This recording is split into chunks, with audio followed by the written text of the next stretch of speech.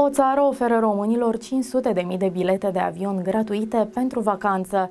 Această țară își dorește să atragă turiști în zonă și face mari eforturi pentru a revigora industria de turism. Iată unde te poți duce fără bani, dar și ce trebuie să faci ca să primești un bilet de avion gratuit pentru această țară.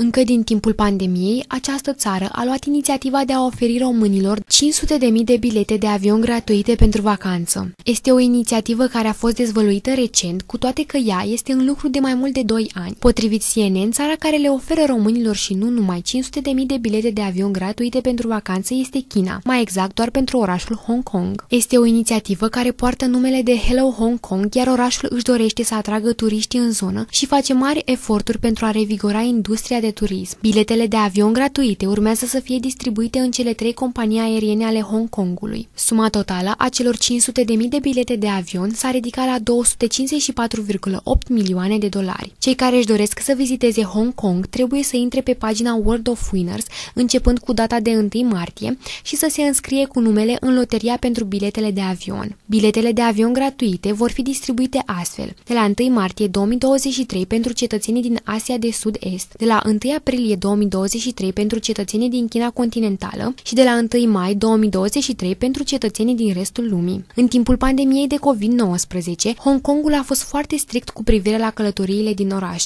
Turiștii au stat la distanță de oraș din cauza faptului că a existat o carantină de 21 de zile de izolare impusă la intrarea în oraș și mai mult decât atât, cei care voiau să intre trebuiau să prezinte mai multe teste PCR. De asemenea, intrarea în orașul Hong Kong a fost limitată la rezidenții de aici. Înainte de pandemia de coronavirus, orașul avea 56 de milioane de turiști pe an. Până în anul 2022, numărul a scăzut brusc la 100 de mii de turiști pe an, relatează spynews.ro.